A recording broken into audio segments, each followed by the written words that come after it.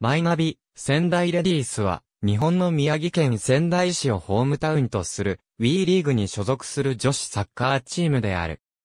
東京電力女子サッカー部マリーゼ、1997年、創設。本拠地、福島県双葉郡奈良葉町、広野町の J ビレッジ、北緯37度14分42.3秒、統計141度0分10.1秒。北緯37.245083度統計141.002806度、37.245083-141.002806が、東日本大震災による影響で休部したことを受けて、2011年11月に日本プロサッカーリーグに加盟するベガルタ仙台を運営する株式会社ベガルタ仙台がマリーゼの受け皿としてベガルタ仙台レディースを創設した。2012年2012年2月1日に男子トップチームと同じく宮城県仙台市に本拠地を置いたベガルタ仙台レディースとして正式発足した。マリーゼからは所属選手を18人受け入れ、さらにセレクション合格者2名を加えた合計20名体制でスタート。また、シーズン中の7月3日に元 U-20 日本女子代表の MF、川島春奈が加入、7月8日に、クラブ初のプロ契約選手として、震災当時マリーゼに所属していた日本女子代表の TF、鮫島彩をモンペリエから完全移籍で獲得した。2012年度は、リーグ規定により、日本女子、サッカーリーグの2部にあたるプレナスチャレンジリーグ2012に参戦。チャレンジリーグでは、開幕から無敗のまま1試合を残して優勝、翌2013年度からのなでしこリーグ昇格を決めた。最終成績は20勝2分け0敗、勝ち点62、得点88、失点12、得失点プラス76はいずれもチャレンジリーグ最高成績。チームはフェアプレー賞を受賞し、チャレンジリーグ MVP には FW、伊藤美奈子が選出された。また、岐阜清流国体のサッカー競技、青年女子の部では、宮城県代表として出場しこちらも優勝を果たした。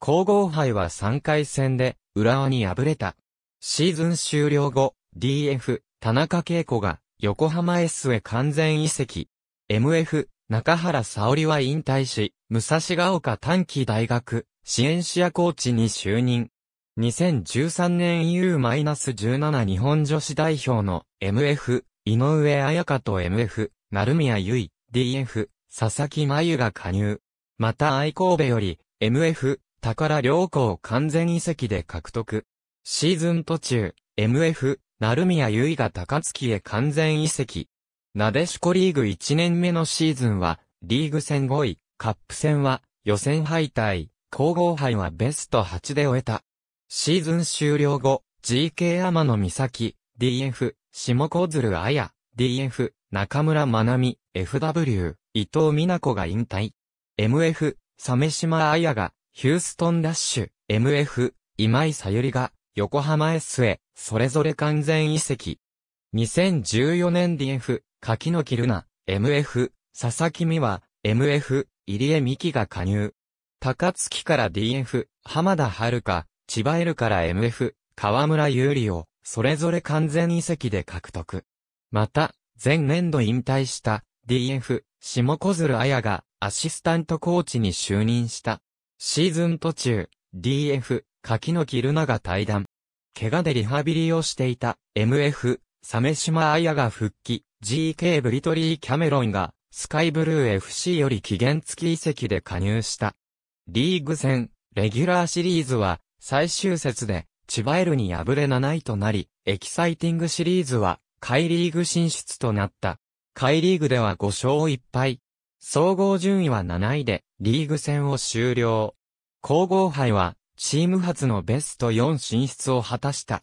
シーズン終了後、GK 最多行き、FW、小山喜恵が引退。DF、長船かなが浦和へ、DF、鮫島彩が愛神戸へ、MF、上辻優美が、東京 NBA、FW、川島春奈が、N 相模原へ、それぞれ完全移籍。GK ブリトニー・キャメロンが、移籍期間満了に伴い対談した。2015年 DF、千葉小杖、DF よろずや美穂、FW、西川明花が加入。愛神戸から GK、竹中玲イ、ユノゴーベルから MF、中野まなみ、FW ユーマチサオリ、サンジョゼ EC から FW、ジョバーニャを獲得した。シーズン途中、ブリトニー・キャメロンが前年に引き続き期限付き移籍で加入。リーグ戦、レギュラーシリーズを3位で終え、初のエキサイティングシリーズ上位リーグ進出。上位リーグでは2勝2分1敗で2位、リーグ戦最終順位は過去最高の2位となった。また河村優里がベストイレブンに選出された。皇后杯では、宝良子、よろずや美穂と、相次いで負傷者を出したものの2年連続のベスト4、進出、フェアプレー賞を受賞した。日本女子代表では、FIFA 女子、ワールドカップに、河村優里が、東アジアカップに、河村、竹中玲衣、宝良子、ゆ町沙織の4人が出場した。シーズン終了後、山本里沙、井出上麻子が引退。ジョバーニャが契約満了。入江美希が海外挑戦のためそれぞれ対談。竹中玲が愛神戸高橋奈々がオルカ鴨川へ完全移籍。2016年、一ノ瀬奈々、平田美希、北原かな、岸川夏樹、本田由香の5人が加入。また、前年に期限付き移籍で加入していた、ブリトニー・キャメロンが完全移籍で加入。河村優里が、プロ契約を締結した。レギュラーシリーズに一本化されたリーグ戦では、昨年に次ぐ10勝を挙げるが過去最多タイの7敗と、負けが込み、4位で終えた。ベストイレブンには河村が2年連続で選出された。3年ぶりに復活したリーグ杯一部は B グループを首位通過したものの準決勝で千葉エルに敗れた。皇后杯は上村学園校エッセタガヤ、野島を破り3年連続のベスト4進出。準決勝は2年連続で愛神戸との対戦となり、延長戦までも連れ込んだが1から3で敗れた。また2年連続で、フェアプレー賞を受賞した。同年9月、マイナビとタイトルパートナー協定を締結。これに伴い、2017年シーズンより、マイナビベガルタ仙台レディースの名称となる。シーズン終了後、チームの立ち上げから指揮を取った千葉康信が監督を退任、男子ユース監督の越後和夫が監督に就任した。また河村が新潟エルへ完全移籍した。2017年、鈴木あぐり、三橋真奈の二人が新加入。1FC、ザールブリュッケンから2015年まで在籍していた、入江美希、シドニー FC から2016年アジア女子年間最優秀選手で、オーストラリア代表のケイトリン・フォードを完全移籍で獲得。リーグ開幕直前、宝良子がノルウェー LSK クビンネル FK に完全移籍。シーズン途中、ブリスベンロアー FC から2014年、アジア女子年間最優秀選手で、オーストラリア代表のカトリーナ・ゴリーが加入、中野真奈美が AC 長野へ移籍した。リーグ戦はアウェーで6勝1分2敗と好調だった。一方、ホームでは3勝2分4敗と勝ち星を伸ばせず、昨年同様4位となった。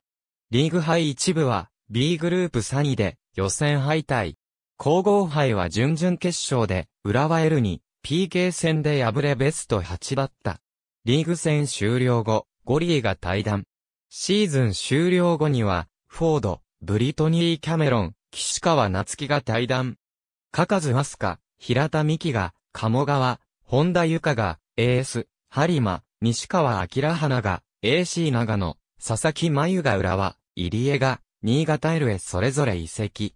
チーム創設時から、選手、指導者として在籍したコーチの下小鶴彩が退任。2018年、奥川千佐、沖野クレア、宮本花野、高平美優、武田七子が新加入。また AS 埼玉から奈良美咲、伊賀から佐藤楓と、日本代表、ハゼ、マドカを完全移籍で獲得。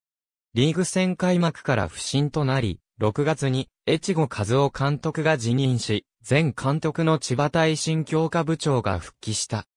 監督交代後最初のリーグ戦となった9月8日の AC 長野戦は勝利したもののその後後連敗を喫し、最終節を残して降格圏内の9位に沈む。最終節の千葉エル戦に勝利して8位に浮上し、一部残留を果たした。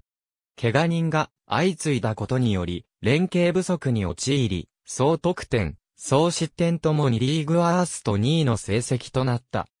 2019年2020年9月1日、従来の運営会社である株式会社ベガルタ仙台とマイナビとの間で、経営権譲渡に関する基本合意書を締結したことが明らかにされた。2020年シーズンは従来の体制のままチームを運営し、シーズン終了後に正式に経営権を譲渡する。10月15日、2021年から発足する WE リーグへの加入が承認された。シーズン終了後、ゆうまちさおりが引退。安本沢子が海外挑戦のため対談。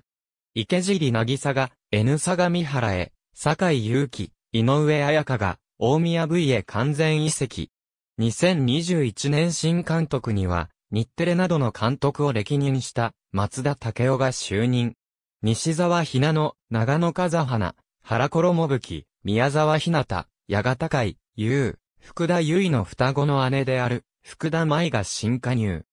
すでにプロ契約を締結している、一ノ瀬七、隅田林、池尻真由のほか、キャプテンの浜田遥を含めた、登録選手26名全員が、プロ契約を締結した。2021年2月1日に運営会社の名称変更に伴い、マイナビ、仙台レディースに名称を変更した。ユアテックスタジアム仙台2021の22シーズン登録選手役員ベガルタ仙台レディースに関するカテゴリー。ありがとうございます。